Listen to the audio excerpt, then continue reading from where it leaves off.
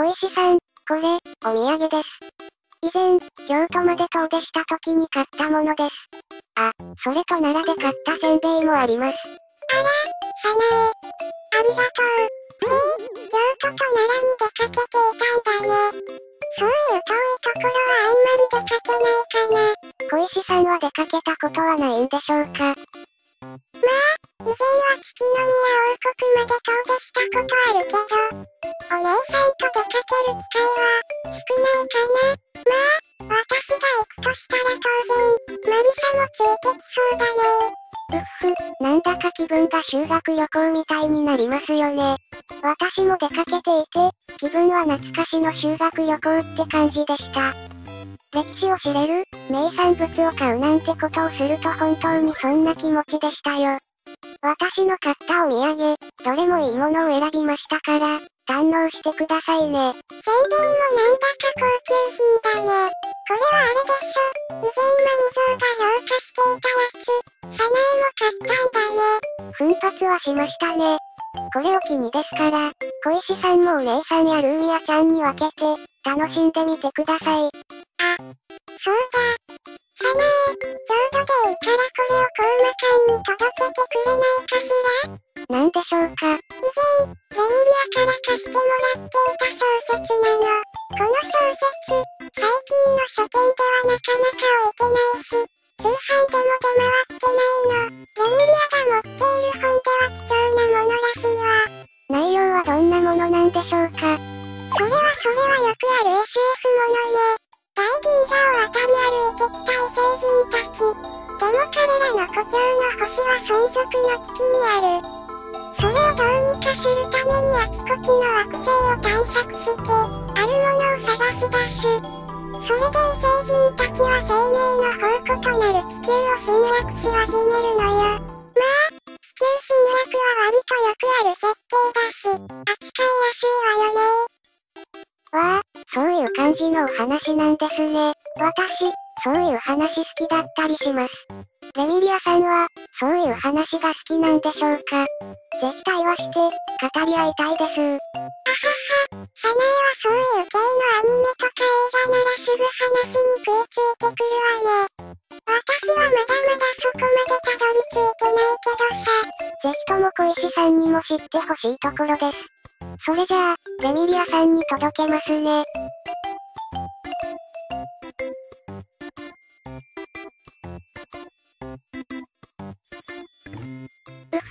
小石さんも喜んでくれましたし、京都に旅行した甲斐がありました。小石さんと会話するのも久しぶりでしたし、ますます親密というか友達関係で話をスラスラ進めていけそうですね。私はああいう感じにたわいのない話をするのが大好きなんです。日常であることとか平凡でもあっても、世間話をすると色々話題が出てきますし、私自身、知らない話題とかあると思います。それこそ SNS で見たトレンドから得られる情報で、話に共有することもできますしね。小石さんとも会話できて大変満足でした。次はレミリアさんと会話でも。え？え？目の錯覚でしょうか？なんだかそれっぽいのが見えているような？でもあれは飛行機ではありませんし、ここから見ても的確にどんなものか捉えられません。でもでもこのパターンはよくある展開ですし、大体、目撃が UFO なんですよねなので私が今、見ているのは円盤。ですが、宇宙人など現実に存在するはずがありません。科学もそう証明しきっているんですから。宇宙人なんて SF の世界だからこそメジャーな存在なんですね。まあ、目の錯覚でしょう。レミリアさんに小説を届けに行きましょうか。ふむふむ、これが以前、いとこが降り立ったという地球という惑星か。随分環境が恵まれていて、景観もいい感じだ。我々の星とは比にならないぐらいだ。これは侵略しがいがありそうだな。まあ、以前のいとこは失敗したらしい。でも今度こそは地球侵略に向けて、動き始める。そしてこの星を乗っ取り、移住計画するのだ。いとこが失敗したという前例があるから少しはおののいているが、こちらは千年も技術が進歩している。だから、人間のなすすべなどないだろう。それにいざとなればカムバックできるだろうし、失敗があるから遠ののく必要はない。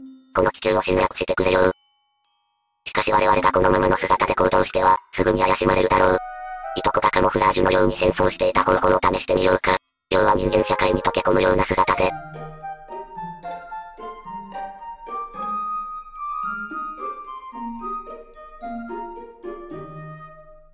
フランドールさん、こんにちは。レミリアさんにお渡ししたいものがありまして、来ました。サナエさん、こんにちは。お姉さんにお渡しするものがあるのですか？今、お姉さんは出かけられていまして、お屋敷にいませんわ。代わりに私が預かっておきましょうか。そうなんですね。それじゃあよろしくお願いします。ふう、とりあえずフランドールさんに預かってもらいましょうか。そういえばさっき見た、円盤みたいなの、目の錯覚だったのか、それとも幻覚を見ていたのか。ああ、なんだか気になってきましたよ。小石さんからその手の話を聞いた途端にリアルでもそういうのが出てくる。気になってしまった以上、調べ上げなくては。そして宇宙人と開口するのです。宇宙人と開口する？ちょっとミステリアスな挑戦だね。へ、だ、誰でしょうか？今の声は、ミステリアスな挑戦。うっふ、話を聞いてたよ。宇宙人と開口してみたいって？ええまあ、確かにそんな話をしていました。一人で、聞かれちゃってましたか。ちょっと気になっていたからこそこそと聞いちゃったよ。それで、あなたは宇宙人に会ってみたいの？はい、会ってみたいです。ですが、宇宙人なんて実在してませんし、そう簡単に会うことなんてできないでしょう。それであなたも私と同じように宇宙人を探しているんですか？宇宙人ってどういうものか知らないし、死後の世界にもいないんだよ。だから現実世界に行けば会えるかなって思ったの。それで私もインターネットで調べていたところあなたの話が聞こえてきたんだよ。そうなんですね。それじゃあ私とエイカさんが考えていることは一つ。え？私たちで UFO を探しましょう。さっきまでは実在しないだろうと思っていましたが、探せばきっと開口することができるかもしれない。それにあなたも気になっているんですよね。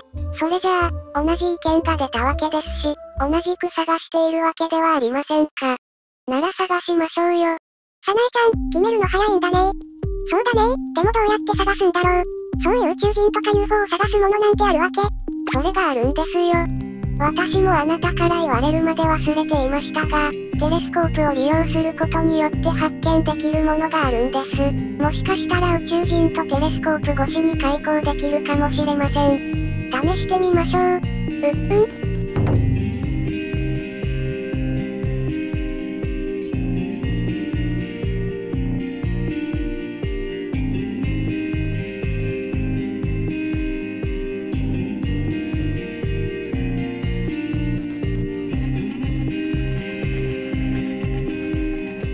どうだったあら、エイカさん。見てください。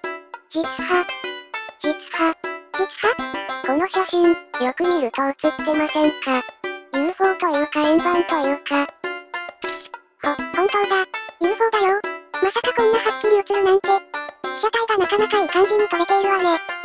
そうですね。この写真を見て、言えることは、UFO は実在。いえ、宇宙人は実在するってこと。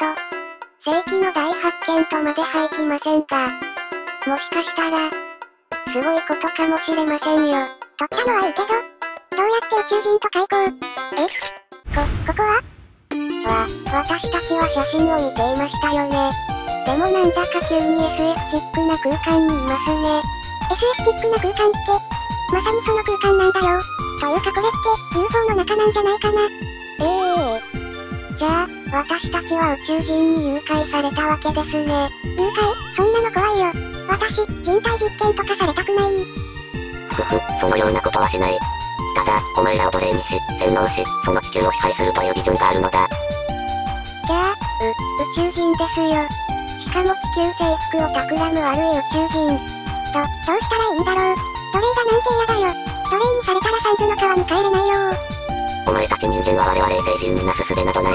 奴隷となり、我々の政権でこの星を作り変える。人間は下等生物となり変わり、時代を我々で作り直す、汚れ切った文明などもう必要ないだろう。だから、我々に邪魔をするのなら貴様らから洗脳してくれようではないか。うわー。それは明暗ですね。えね、明暗ってどこがだよ。サナエちゃん、なんで賛成しているのその宇宙人、とんでもないことを考えているようっふ、まさか賛成してくれるとは人間のくせに挑戦的だな。よろしい、ぜひとも我々のプロジェクトに参加し、この地球を支配しようじゃないか。人間であるお前は膨大な情報を知り尽くしているはずだからな。そうですね。宇宙人と交流できるギャラクティックワイドプロジェクトを考えていきましょう。はあ、な、何を意味不明なことを言っている。そんなグローバル文化外星人に通用するわけないだろう。我々は地球侵略する。お前の決定は採用しないぞ。わかってないですね。ただ侵略するだけでは事足りません。なぜならあなたは求められているんです。人間が見れば、あなたはすぐにとっ捕まえられることでしょう。あるいはさらわれて、人体実験のために色々試されるかも。何せあなたはごっきの存在とも言われますからね。ひえー。な、なんだって。そんな話。聞いてないぞ。我々は人間よりも上だと思っていた。しかし我々は人間が愚かな下等生物だと認識していたのに、まだまだ解明していない部分が一人の人間からこぼされるとは。わ、わかった。地球侵略は取り消しする。そのようなことをされたら一族の恥。我々はこの星から撤退する。諦めてくれたみたい。地球侵略など異変以上に大変なことをされてはなりませんからね。それに宇宙人もなかなか気づいていない部分があるなんて、脅威は未知数と言いますね。こうして宇宙人からの脅威から地球は守られましたとさ。